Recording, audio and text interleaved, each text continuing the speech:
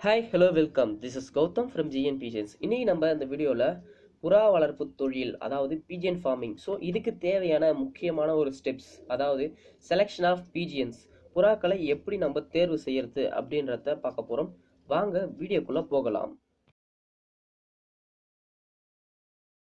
Okay friends நம்ம புறாக்களை தேர்வு செய்கிற விஷயத்தை பொறுத்த வரைக்கும் நம்ம இதுக்கு முன்னாடியான ஒரு ஒரு சில வீடியோவில் பார்த்துருக்கோம். புறாவுடைய வகைகள் அதாவது வெரைட்டிஸை பற்றி சொல்லியிருக்கோம். So racing pigeons and then பார்த்தீங்கன்னா ஃபேன்சி பீஜன்ஸ் அந்த மாதிரி சொல்லியிருக்கோம். ஸோ இதில் ரேசிங் பீஜன்ஸ் அப்படின்றது பார்த்தீங்கன்னா பந்தயங்களுக்கு பயன்படுறது அதை பார்த்தீங்கன்னா நம்ம பண்ணை முறையில் வளர்க்குறோம். இல்லை பண் ஒரு வளர்த்து நம்ம அதை வந்து ஃபார்மிங் பண்ணி சேல் பண்ணுறோம் அப்படின்றது பார்த்தீங்கன்னா அது லாபம் தர தொழிலாக இருக்காது. ஸோ அந்த வகையில் ஃபேன்சி பீஜன்ஸ் பார்த்தீங்கன்னா முக்கியமாக ஃபேன்சி பீஜன்ஸ் பார்த்தீங்கன்னா இதுக்காக தான் ஒரு தொழிலாகவும் ஒரு அழகுக்காகவும் வளர்க்கப்படுறது தான் பார்த்தீங்கன்னா ஃபேன்சி பீச்சன்ஸ் ஸோ இன்றைக்கி நம்ம கான்செப்டில் ஒரு ஃபேன்சி பீஜன் ஒரு ஒரு பண்ணைக்கு நம்ம ஒரு பண்ணை ஆரம்பிக்கிறோம் அப்படின்னா ஸோ அந்த பண்ணைக்கு தேவையான புறாக்களை எப்படி நம்ம செலக்ட் பண்ணுறது என்னென்ன ப்ரீடை செலக்ட் பண்ணுறது எந்த ப்ரீடை செலக்ட் பண்ணால் நமக்கு எப்படி ப்ராஃபிட் வரும் அது மட்டும் இல்லாத எந்தெந்த ப்ரீடு வந்து மார்க்கெட்டில் இன்னைக்கு ஈஸியாக சேல் ஆகுது எந்த ப்ரீடு அவைலபிலிட்டியாக இருக்குது எந்த ப்ரீடு வந்து ரொம்ப டிமாண்ட் இருக்குது ஸோ அந்த ப்ரீடை எப்படி ப்ரீட் பண்ணுறது ஸோ அந்த மாதிரி விஷயங்களை தான் பார்க்க போகிறோம் ஸோ அந்த வகையில் பொறுத்த வரைக்கும் ஃபேன்சி பீஜனை பொறுத்த வரைக்கும் ஒரு மூணு ரேஞ்சில் பிரித்து வச்சுக்கலாம். அதாவது பார்த்தீங்கன்னா low range medium range high range so இந்த low range medium range high range அப்படின்னா என்னன்னு கேட்டிங்கன்னா லோ ரேஞ்ச் அப்படின்னு நான் பிரிக்கிறது அப்படின்னு பார்த்தீங்கன்னா ஆயிரம் ரூபாய்க்கு கீழே இருக்க ஃபேன்சி பீஜன்கள் அதாவது ஆயிரம் ஒரு வெடை ஜோடி குஞ்சியோடைய விலை ஆயிரம் ரூபாய்க்கு கீழே இருக்கிற குஞ்சுகள் பார்த்தீங்கன்னா லோ ரேஞ்ச் அப்படின்ற ரேஞ்சில் வச்சுருக்கேன். மீடியம் ரேஞ்ச் மீடியம் ரேஞ்ச் அப்படின்றது பார்த்தீங்கன்னா ஐயாயிரத்திற்குள் ஒரு விடைப்புறாவுடைய ஜோடி ஒரு ஜோடி குஞ்சு பார்த்தீங்கன்னா ஐயாயிரத்திற்குள் இருக்கிறத பார்த்தீங்கன்னா நான் மீடியம் ரேஞ்சில் வச்சுருக்கேன். நெக்ஸ்ட்டு பார்த்தீங்கன்னா ஹை ரேஞ்ச் ஹை ரேஞ்சுன்றது பார்த்தீங்கன்னா அபோவ் ஃபைவ் தௌசண்ட் ஸோ இந்த வகையில் பார்த்தீங்கன்னா லோ ரேஞ்ச் அப்படின்றது பார்த்தீங்கன்னா இந்த ஃபேண்டெல் ஆஸ்திரேலியன் அப்புறம் பார்த்தீங்கன்னா நார்மல் சீராஸ் ஸோ இதெல்லாம் பார்த்தீங்கன்னா நம்ம லோ ரேஞ்ச் அப்படின்ற ப்ரீடுக்குள்ள அப்படின்ற ரேஞ்சுக்குள்ளே வச்சுக்கலாம்.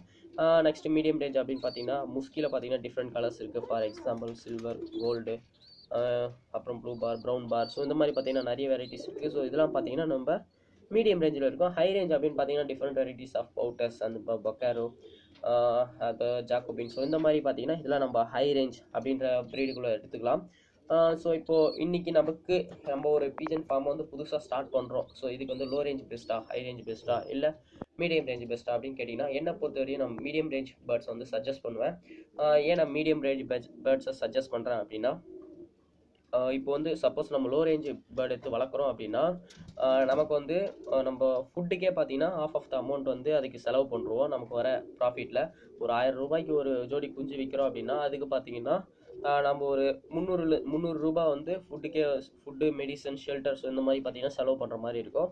அதுவே நம்ம வந்து ஒரு ஒரு மூவாயிரம் ரூபாய்க்கு ஒரு ஜோடி குஞ்சு செலவு விற்கிறோம் அப்படின்னா ஸோ அதுக்கும் பார்த்தீங்கன்னா ஃபுட்டு ஷெல்டர் மெடிசன் இதெல்லாம் பார்த்தீங்கன்னா ஒரு முந்நூறுரூவாய்க்கு தான் செலவு பண்ணுவோம் ஸோ இதனால் பார்த்தீங்கன்னா நமக்கு இதில் எழுநூறுவா லாபம் இருக்குது அதில் பார்த்தீங்கன்னா ரெண்டாயிரத்தி எழுநூறுவா லாபம் இருக்குது ஸோ அதனால் பார்த்தீங்கன்னா நான் மீடியம் ரேஞ்ச் பேர்டு வந்து சஜஸ்ட் பண்ணுறேன் ஓகே ஒரு ஓகே ஹை ரேஞ்ச் பேர்டு வந்து நீங்கள் சஜஸ்ட் பண்ணலாம் அப்படின்னு கேட்டிங்கன்னா ஹை ரேஞ்ச் பேர்டுக்கும் பார்த்தீங்கன்னா அதே த்ரீ ஹண்ட்ரட் அதுக்குள்ளே தான் பார்த்தீங்கன்னா அதனுடைய செலவு இருக்கும். பட் இழப்பு அப்படின்ற பட்சத்தில் பார்த்தீங்கன்னா நமக்கு ஒரு தாய்ப்புறா இழக்கு இழப்புறோம் அப்படின்னா அப்போ வந்து இழப்பு வந்து அதிகமாக இருக்கும். ஸோ அதுவும் இல்லாமல் அதனுடைய மார்க்கெட்டும் பார்த்தீங்கன்னா கம்மி. ஹை ரேஞ்ச் ப்ரீடை வந்து ஈஸியாக விற்க முடியாது. ஸோ நிறைய பேர் லைக் பண்ண மாட்டாங்க. ஏன் நம்ம ஈஸியாக சொல்லணும் அப்படின்னா இப்போ சின்ன சின்ன பசங்க தான் பார்த்தீங்கன்னா மோஸ்ட்லி புறா வளர்க்குறதுல இன்ட்ரெஸ்ட்டாக இருக்கும். ஸோ நம்மளால் ஹை ரேஞ்ச் கொடுத்து வாங்குற அளவுக்கு பைசா இருக்காது. ஃபஸ்ட்டு நம்ம ஒரு பையராக இருந்தால் எப் நம்ம என்ன பண்ணுவோம் அப்படின்றத யோசிச்சு தான் நம்ம பார்த்தீங்கன்னா செல்லராக இருக்கணும். ஸோ அந்த வகையில் நான் வந்து பார்த்தீங்கன்னா மீடியம் ரேஞ்ச் பேர்ட்ஸை வந்து சஜஸ்ட் பண்ணுறேன் நெக்ஸ்ட்டு பார்த்தீங்கன்னா நீங்கள் நீங்கள் வந்து புறாவுடைய குவாலிட்டி புறாவுடைய குவாலிட்டியை வந்து இதை மாதிரி மூணாக பிரிச்சுக்கலாம். லோ மீடியம் ஹை எப்பயுமே எந்த புறாவிலையுமே ஹை ஹை குவாலிட்டி தான் பார்த்தீங்கன்னா நான் சஜஸ்ட் பண்ணுறேன் நீங்களும் பார்த்தீங்கன்னா ஹை குவாலிட்டி தான் சூஸ் பண்ணணும். என்றைக்காக இருந்தாலும் மார்க்கெட் வந்து பார்த்தீங்கன்னா ஹை குவாலிட்டி பேர்ட்ஸுக்கு மட்டும்தான் இருக்குது ஒரு பீஜியன் ஃபார் எக்ஸாம்பிள் முஸ்கி பீஜனே எடுத்துக்கிறீங்க அப்படின்னா ஒரு ரெட் ஒரு ரெட் முஸ்கி அப்படின்றத பார்த்தீங்கன்னா ஹைப்ரிட் நல்ல ஹை குவாலிட்டி ப்ரீடாக இருந்தது அப்படின்னா அதோட சிக்கு பார்த்தீங்கன்னா ஃபோர் தௌசண்ட் வரை இன்றைக்கி சேல் ஆகுது. மீடியம் குவாலிட்டி அப்படின்னு பார்த்தீங்கன்னா ஒரு two thousand five hundred three thousand வரைக்கும் சேல் ஆகுது. அதுவே லோ குவாலிட்டி அப்படின்னு பார்த்தீங்கன்னா ரெட்டுலாம் எடுக்கவே மாட்டாங்க.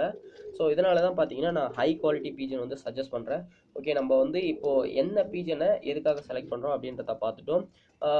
அந்த பீஜன்ஸை நம்ம எப்படி வாங்கணும்? ஃபார் எக்ஸாம்பிள் நம்ம நான் வந்து இப்போ ஒரு ஜோடி ஒரு குஞ்சுங்க குஞ்சுங்க வாங்கணுமா? இல்லை பெரிய புறா வாங்கி வச்சா நல்லா இருக்குமா அப்படின்னு கேட்டிங்கன்னா நான் வந்து சின்ன குஞ்சு புறாங்களை தான் சஜஸ்ட் பண்ணுவேன். குஞ்சு புறாக்கள் அப்படின்னா ஒரு நாற்பது நாள்லேருந்து அறுபது நாள் குஞ்சுகளை பார்த்தீங்கன்னா நீங்கள் வாங்கி தாராளமாக வளர்க்கலாம். இல்லை உங்களுக்கு செமி அடல்ட்டாக கிடைக்குது அப்படின்னா நீங்கள் ஈஸியாக வளர்க்கலாம்.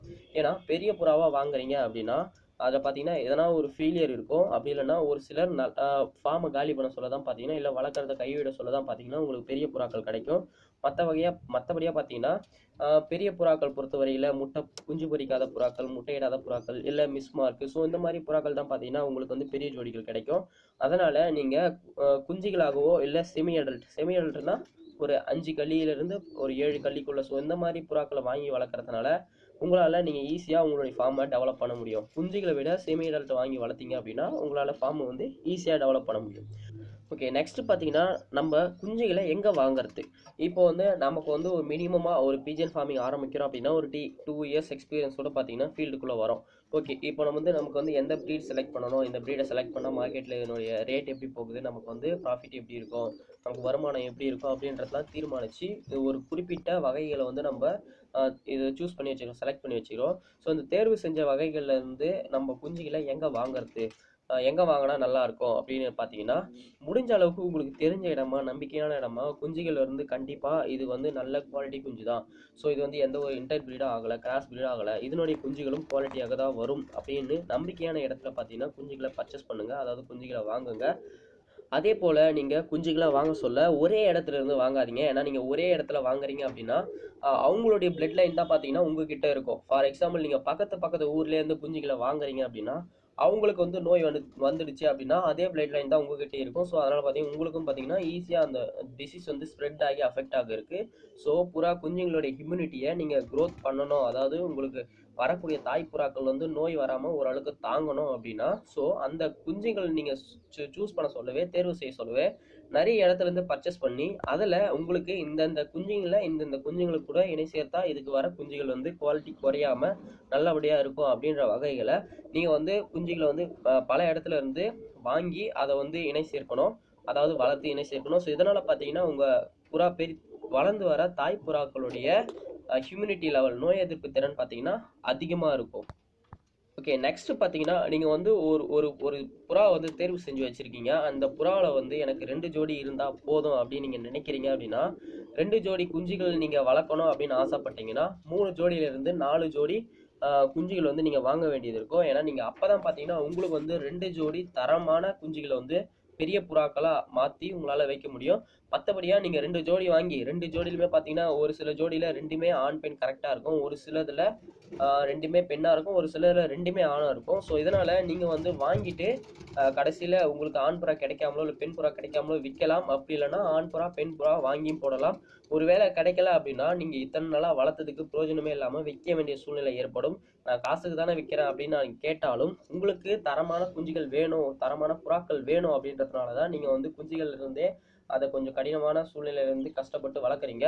ஸோ அதனால் முடிஞ்ச அளவுக்கு நீங்கள் பெரிய புறா வாங்குறதுக்கு இப்போ ஒரு ஆறாயிரரூபா கொடுத்து ஒரு ஜோடி வாங்குறீங்க அப்படின்னா மூவாயிரரூபா குஞ்சுகள் இருக்கும். ஸோ மூவாயிரம் ரூபாய்க்கு ஆறாயிரம் ரூபாய்க்கு ரெண்டு ஜோடி குஞ்சுகள் வரும் அப்படி இல்லையா?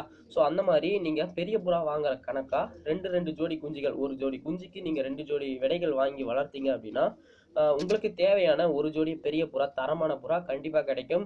நீ உங்களால் முடிஞ்சு நாலு நாலு புறாவுமே கரெக்டாக ஆண் பெண் அமைஞ்சு ரெண்டு ஜோடி பெரிய புறா வந்துடுச்சு அப்படின்னா உங்கள் ஃபார்முக்கு அடிஷ்னலாக ஒரு பேர் வந்துடுச்சுன்னு வச்சுக்கலாம்.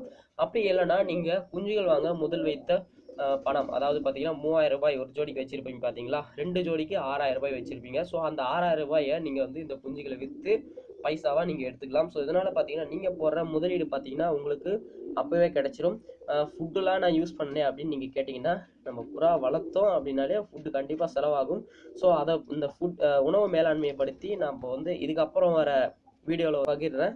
ஸோ இந்த வீடியோவை பொறுத்த வரைக்கும் ஒரு குஞ்சுகளை எப்படி தேர்வு செய்கிறது என்னென்ன குஞ்சுங்களை வாங்குறது எங்கே வாங்குறது எப்படி வாங்குறது அப்படின்றத ஓரளவுக்கு டீட்டெயிலாக சொல்லிட்டேன் அப்படின்னு நினைக்கிறேன். மீண்டும் அடுத்து வர பதிவுகளில் வந்து நம்ம ஒரு பண்ணைக்கு தேவையான அனைத்து விஷயங்களும் என்னால் முடிந்த வரைக்கும் நான் ஷேர் பண்ண விரும்புகிறேன் இந்த வீடியோ பிடிச்சிருந்தா நீங்கள் லைக் பண்ணுங்கள் இந்த வீடியோ உங்கள் ஃப்ரெண்ட்ஸுக்கு யூஸ்ஃபுல்லாக இருக்கும் அப்படின்னு நினச்சிங்கன்னா ஷேர் பண்ணுங்கள் நெக்ஸ்ட் பார்ட் உட உடனே ஒரு ரெண்டு மூணு நாளில் என்னால் முடிஞ்ச வரைக்கும் நான் சீக்கிரமாக போஸ்ட் பண்ணுறேன் ஓகே அடுத்த வீடியோவோட உங்களை சந்திக்கும் வரை உங்களிடம் இருந்து விடைபெறுவது Gautham from GN pigeons pigeons to the future in Tamil